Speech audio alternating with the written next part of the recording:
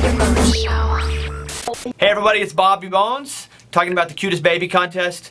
Wave927.com. That's where you go to see every one of them. Brought to you by the law offices of Greg R. Wexler and the Coco Key Hotel and Water Resort. You're going to get to go to that. You get to pick the winner who goes to that. It's going to be awesome. So again, wave927.com. Check out all the entries of the cutest baby contest.